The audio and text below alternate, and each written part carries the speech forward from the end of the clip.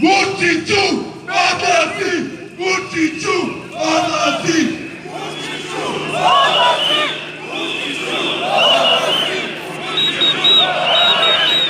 Vučiću!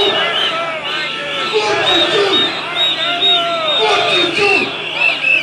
Vučiću! Vučiću! Bravo!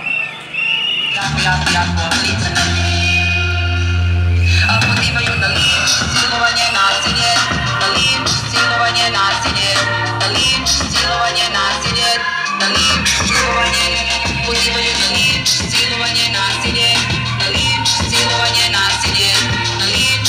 zaangażowanie na